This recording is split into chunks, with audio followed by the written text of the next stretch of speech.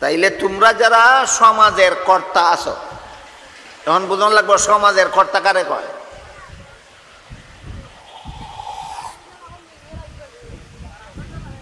গায়ের দূরে সমাজের কর্তা হন যায় না। সাফার দূরে সমাজের কর্তা হওয়া যায় না। সমাজের কর্তা হইতে তিনটা গুণ লাগে। কত গুণ? এক নম্বর, যারা হালাল হারাম জানে। হালাল হারাম? দুই নম্বর, ন্যায় অন্যায় বুঝে। ন্যায় বুঝে না, অন্যায় বুঝে না এনি সমাজের কর্তা হইবার যোগ্য। এ সমাজের কর্তা হইবার যোগ্য। যে হালাল হারাম জানে না, সে সমাজের কর্তা হইবার যোগ্য না, কর্তা বানাইলে হারামের পক্ষে রায় দিব বিচারক গিয়া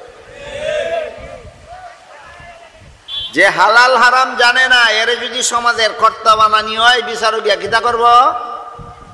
হারামের পক্ষে রায় দিব। কি করব? এত হালাল হারাম জানে না, হারামের পক্ষে রায় দিব। তাহলে ভালো রকম বুঝেন, স্মরণ রাখেন, কর্তা হওয়ার কত গুণ? তিন গুণ। এক নম্বর, হালাল হারাম জানে। দুই নম্বর, ন্যায় অন্যায় বুঝে। ন্যায় অন্যায় বুঝে। তিন নম্বর, স্বার্থের লোভে পক্ষপাতিত্ব করে না। স্বার্থের লোভে পক্ষপাতিত্ব, নিরপেক্ষ। জগরা, জগরার দুই পার্টির কোনো পার্টির পক্ষপাতিত্ব করে না। নিরপেক্ষতা যার মধ্যে, নিরপেক্ষতার গুণ যার মধ্যে পাওয়া যাবে ন্যায় অন্যায় বুঝার মতো গুণ যার মধ্যে পাওয়া যাবে, হালাল হারাম জানার মতো গুণ যার মধ্যে পাওয়া যাবে, এরা হবে মুসলমান সমাজের কর্তা। এরা হবে মুসলমান সমাজের কর্তা।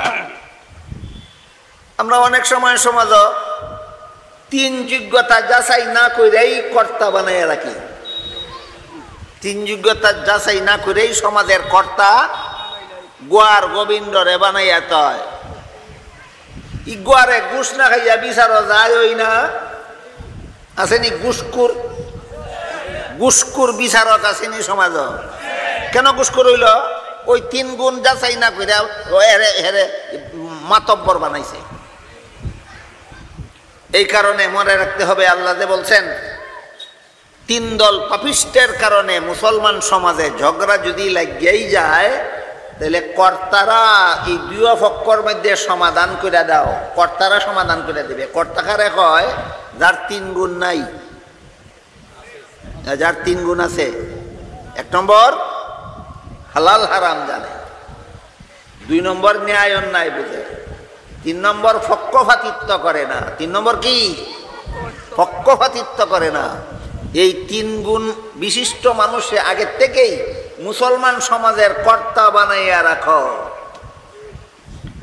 এরপরে যখন তিন দল ফাফিস্টের কারণে মুসলমানের দুই দলে ঝগড়া লাগেই যাইব, এই সমস্ত কর্তা ব্যক্তিরার দায়িত্ব হইব দুই পক্ষরে লইয়া বউ। মারামারি কোন পর্যন্ত করাইতে দিও না, এর আগেই দুনো পক্ষরে লইয়া বউ। বইয়া দেখো কোন জায়গার থেকে ঝগড়াটা লাগছে। যদি দেখা যায় দোকান বাকি খাইছিল পক্ষে দেয় না।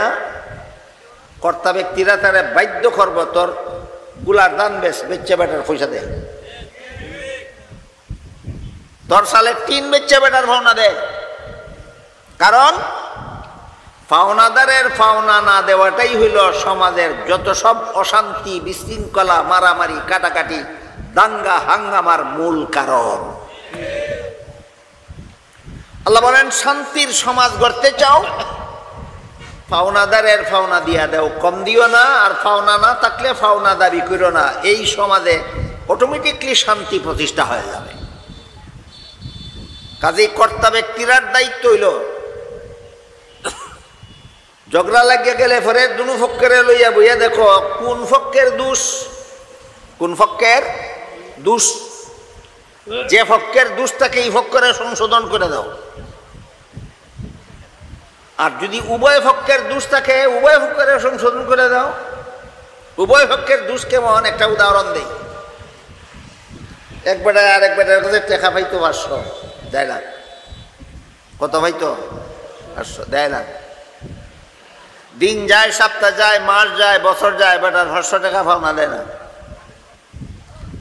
একদিন খুঁজতে খুঁজতে খুঁজতে খুঁজতে চাইতে চাইতে চাইতে চাইতে না দিতে না দিতে, অতিষ্ঠ হইয়া। যার কাছে পাঁচশো টাকা পাইতো, এর পাঁচ হাজার টাকার গরু নিয়ে বাজারে চালিয়েছে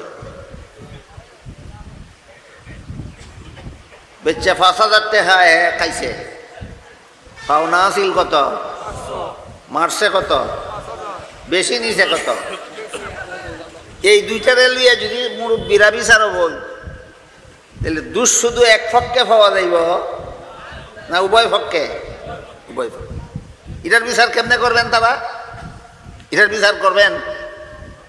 তোর গরু পাঁচ হাজার টাকাইটা বেচছে। এই পাঁচ হাজার টাকার মধ্যে হের পাওনা আছে পাঁচশো এটা তুই ভাইতে না। হের পাওনা হের একে দিব, বাকি চার হাজার হের বাকি চার হাজার পরিশোধ কর। বাকি চার হাজার তোর তোর গরু বেচছে হের, বাকি হাজার সাড়ে চার হাজার পরিশোধ কর। যদি দুনু পক্ষের দোষ থাকে দুনু পক্ষের সংশোধন করে দিবেন। যদি এক পক্ষের দোষ থাকে এক পক্ষরে সংশোধন করে দিবেন। এই সংশোধন যদি কোনো পক্ষয় মানতে রাজি না থাকে, কথা বুঝতেছেন তো? তিন ধরনের ফাফিস্টের কারণে সমাজ ঝগড়া লাগে, শান্তি শৃঙ্খলা ভঙ্গ হয়। ঝগড়া লাগলে পরে সমাজের কর্তা ব্যক্তিরা এই ঝগড়া মীমাংসার দায়িত্বশীল আল্লাহর পক্ষ থেকে। আল্লাহ সমাজের কর্তা ব্যক্তিরারে দায়িত্ব দিছেন, ঝগড়া মীমাংসা করে দাও তোমরার দায়িত্ব। দুই দলে ঝগড়া লাগলে ওগুলো যদি তামসা দেখে, কেউ যদি মীমাংসা করতে যায় না সমস্ত ঝগড়ার গুণা, সমস্ত খুনের গুণা, সমস্ত মাইরের গুণা, সমস্ত মামলার গুণা। যে তাই তামসা দেখছে, এই তার আমল নামা তোলে হইব। কথা বুঝনি না বুঝনি না তাহলে দুই দল মুসলমানের ঝগড়া লাগলে হ গেলে তামসা দেখার অধিকার আছে না মীমাংসার দায়িত্ব আছে? মীমাংসা করার দায়িত্ব আছে। মীমাংসা করতে গিয়া এক পক্ষের দোষ পাইলে এক পক্ষের সংশোধন করবেন। দুই পক্ষের দোষ পাইলে দুই পক্ষের সংশোধন করবেন সংশোধন করে দিলে পরে যদি কোনো এক পক্ষ সংশোধন মানতে রাজি না থাকে তাহলে এরা কিটা করন আল্লাহ ফকরাবুল আলমিন কোরআনে বলেন فإن بغت إحداهما فقاتلوا التي تبغي حتى تفيء إلى أمر الله কর্তা ব্যক্তিরা মীমাংসাত বৈশা ইনসাফের সাথে সংশোধন করে দিলে, মীমাংসা করে দিলে, সমাধান করে দিলে, যে পক্ষয় মানবে না, আল্লাহ বলেন, অগলে মিল্লা এটারে ধরো। অগলে মিল্লা এরা এরা ধরো। এরা সাইজ করে লাও। এর কারণেই সমাজ ঝগড়া হয়, এর কারণেই সমাজে মারামারি হয়, এর কারণেই সমাজে খুন খারাপি হয়, এর কারণেই সমাজে দাঙ্গা হাঙ্গামা আর মালি মামলা হয়। এরে ধরো এরে সাইজ করো। কর্তা ব্যক্তিরা সমাধানও বৈশা সমাধান দিলে পরে যে পক্ষয় মানে না। আল্লাহ বলে নিটারে অগলতা মিললে ধরো অকলে মিললে এটারে ধরো। আমার কথা বুঝে থাকলে বলেন, আল্লাহ রব্বুল আলমিন মুসলমান সমাজের শান্তি শৃঙ্খলা রক্ষার জন্য যে ব্যবস্থা দিছেন, তিন দল মানুষ, তিন দল ফাফিস্টরে আগে সামলাও, ঝগড়াই লাগবে না।